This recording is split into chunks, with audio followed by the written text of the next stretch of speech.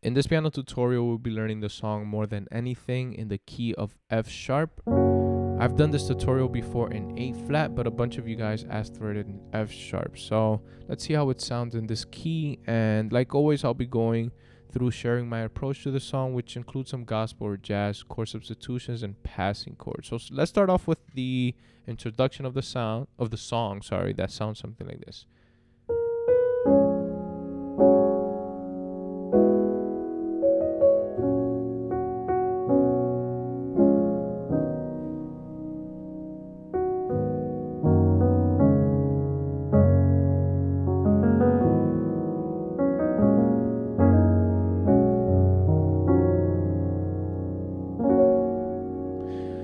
Right, so what I'm doing here, I'm keeping it very simple, very similar to the original.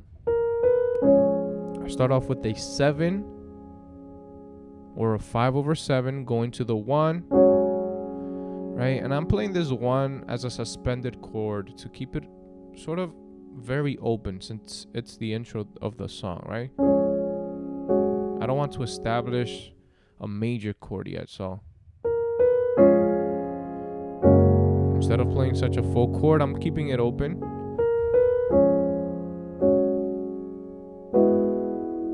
Then I play a flat 7 over 2, right? This E is a flat 7 over this 2. Then a 3 or 1 over 3. And then this B major, which is the 4, right? So that's a simple progression 7, 1, 2, 3, and then 4. Then here we simply alternate or substitute this 4 for a 5 over 4, right? This C sharp 7 over B. And then we resolve it back to that 4. So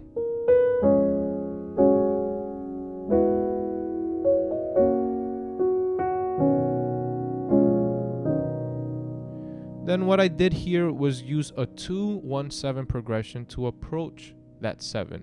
So I did 2 1 or this is technically, right? This is technically a 6, but I'm playing it as a drop 2 voicing. So it would be 2 6 and then we're back to the 7 to continue the introduction. So 2 Something like that. Seven, one. Then this two. As you can notice, or probably notice, I switched up the voicing. Instead of playing a regular E major, I'm playing it as a sort of a cluster right here. So this is the voicing I'm using for the two. Then we play a 1 over 3 again. And then in this case, I'm going to use a 1 4 progression with sort of voiced as a passing chord, right? This F sharp 13 to approach the 4, which I'm voicing as a B6 9, okay? So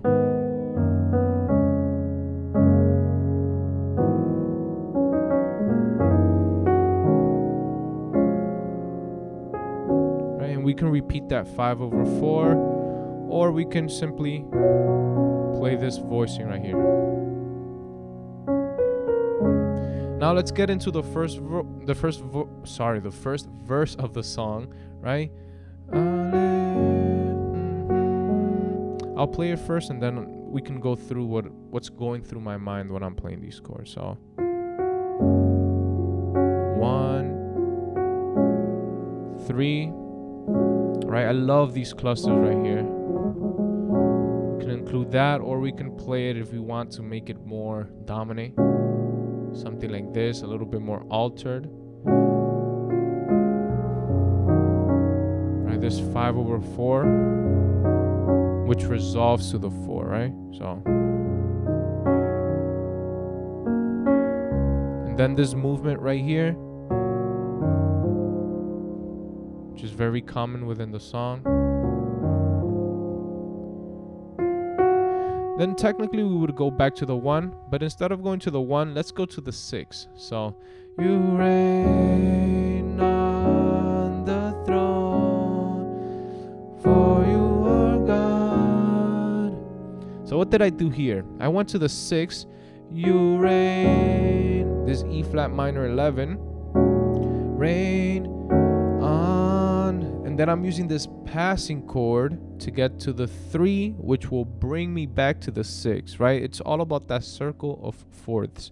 I'm using this, which is the five of this, which is the five of this, right? So it's all about going around that circle as a way to build that bridge between the chords. So you right? This is the F7, and the voicing we use in this case is a B flat sharp 5 and the reason why is to maintain the melody up here. Then I get to the 3 or the 1 over 3 still maintaining the melody then back to the 6 and here we play a flat 5 or a 2 over a flat 5 right? So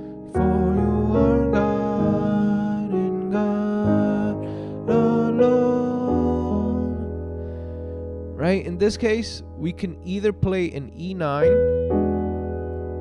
or a 4 minor. Right? A, a B minor 6 which would be the the original chord. So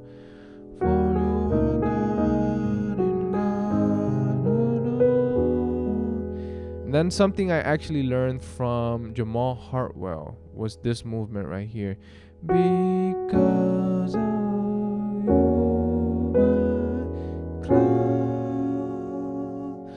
Right? So what he does there is sort of a a minor 251, right? Or a 251 starting on the 4. Because so this would be the 4, but we voice it as a B minor 9 because. Then we go to the 5, which after the 4, which would be technically a flat 7, right? Which we voice as an F sharp over E. So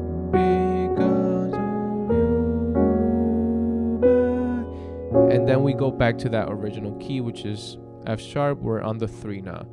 4 over 6.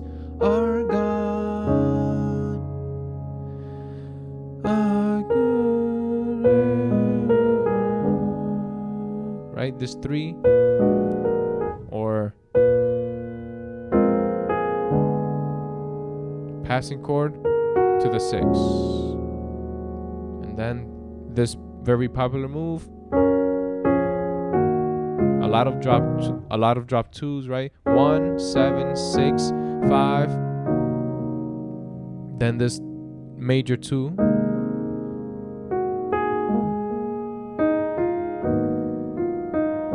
and then two five one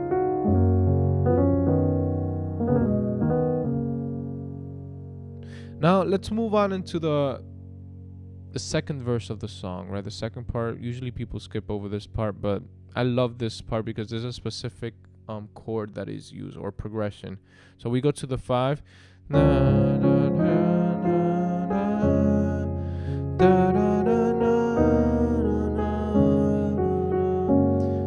Did here again, five, five over seven, then a six, seven, one, six, seven, one.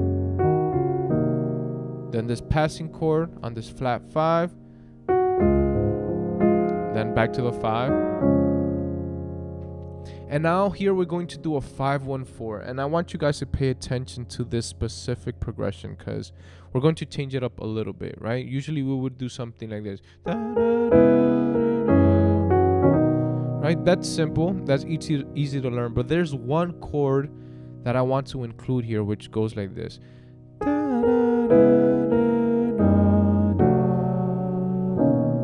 Right? That passing chord right there sounds very sweet and the way it fits in with the melody is what I like the most about it because we're still including this F sharp which is the melody. So what did we do? We did 5 1 then passing chord which is actually just a D over C, okay?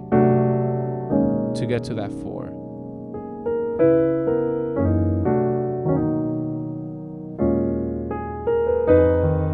Seven, three, six. Right, there's movement right here to the flat five. Then the the most important part of the song.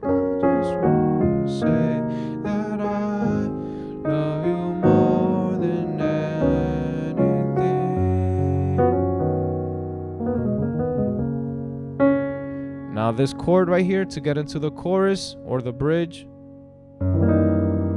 F sharp 13 flat 9, right? I, I remember when I first learned this chord, I was like, how how do I memorize this, right? It's a little bit difficult to memorize the 13, the flat 9. So what I did was break it up into two.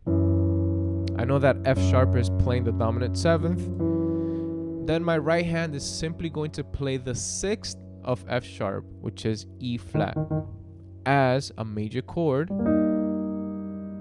in first inversion, right? So E flat major over F sharp with the minor seventh, okay? So that's that passing chord that we can use as a substitution for an F sharp seven or as a way to get to the four. So I love you, Jesus. So four, I love you, six, seven. Then here, right that 514 or we can think about it as a 1 4 because we're not including the 5 now this movement right here can be done in two ways. We can either play in E over F sharp right? E major over F sharp then we resolve it to an F sharp 13 to get to the 4 which is an, a B major 13 or this other voicing right here is, is a very subtle change. Instead of playing E major, we play an A flat minor, which would be the 2, right? So I feel like it gives it a different type of sound. Since we already have an E down here, we don't have to double up up here. We can make it an E flat. Just wanna tell you that I love you more.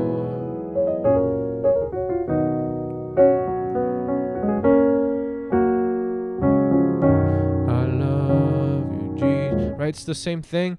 Now there's a different change, a different chord, which I think I thought I taught it in the A flat version of the song, right?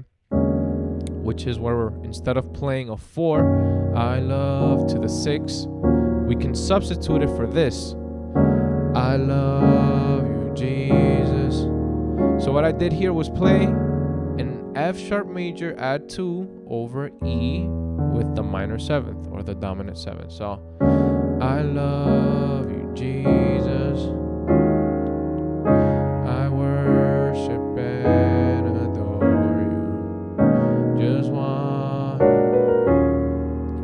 3 to the 6, B flat 7 sharp 9 sharp 5.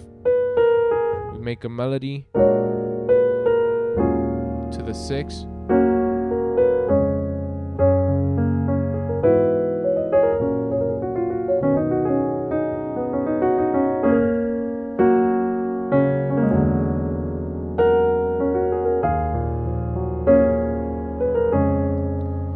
that's basically the whole song. So what I want to do now is play the whole song without any interruption. I'll include a MIDI file in the description. That way you guys can download it and change it to any other key. Um, and also, quick reminder: I have a piano course available in the first link in the description, right next to the number one, and where I teach 11 gospel jazz progressions, and I teach it in every key. Right, I include you can find all the information through the link. Um, hopefully, you're able to learn something from this class, and let's get started with this section of the video.